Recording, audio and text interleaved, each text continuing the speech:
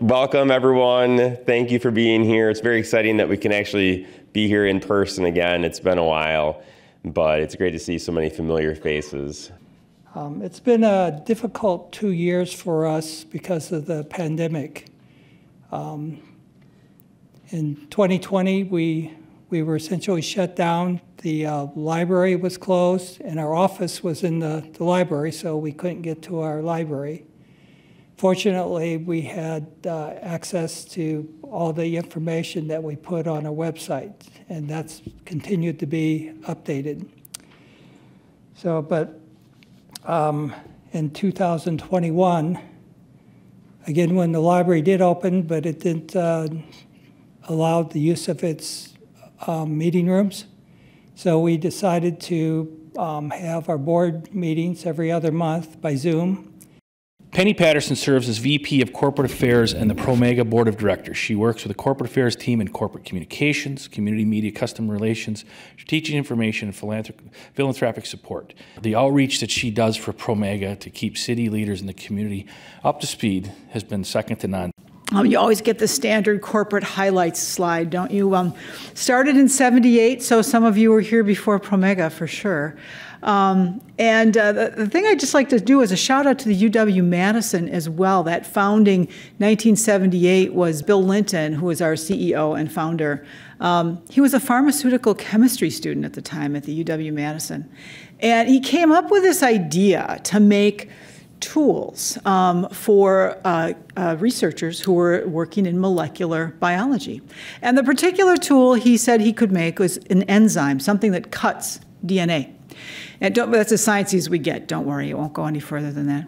Um, but we, um, but he, but he said, you know, if I make this for you, then you don't have to make it for yourself because that's what was happening. Scientists were fashioning a lot of their own tools before they were running their experiments.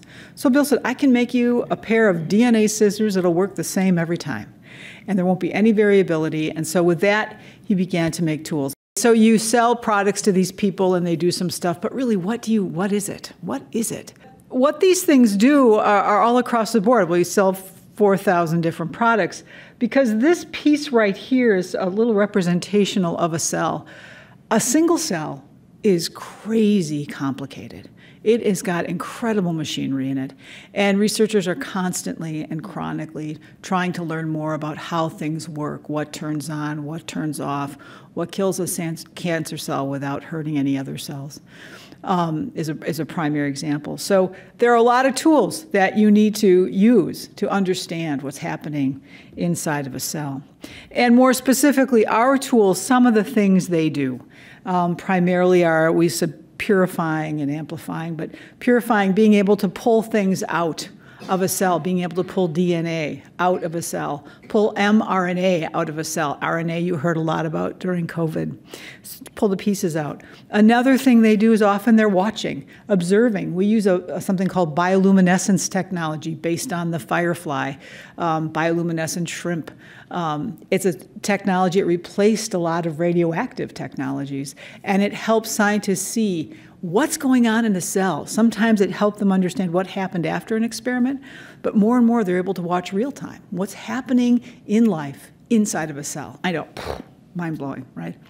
Um, and then uh, analyzing. I'm sure this uh, last image looks familiar to Alan. Um, this is uh, this is showing a DNA analysis. Um, it's something obviously we talked about before, used in forensic study a lot. Uh, overall, every once in a while we look at our impact in Wisconsin alone. Wisconsin, uh, uh, sorry, Promega has about a billion dollar impact in the state. Um, and it's just an interesting thing as we do these assessments, taking a look at our vendors, uh, about 50% of our vendors come within a 50 mile radius of Fitchburg.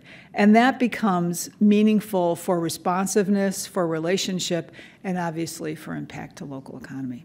I believe one of the board members had challenged Bill. He said, you know, where is where's Promega going? What's going on with this? And and you know, where, where what do you want to do next? And Bill, you know, gave it some thought and he said, you know, really the the business is great, but what it's about are the people who make this business happen. Because as you can see, as science discovers, we keep following the discoveries and supporting those discoveries and growing with them. So to be able to say we're going to be about X would perhaps close the door to Y and Z and A. So we look at the people and how incredible they are and how they can imagine the unimaginable.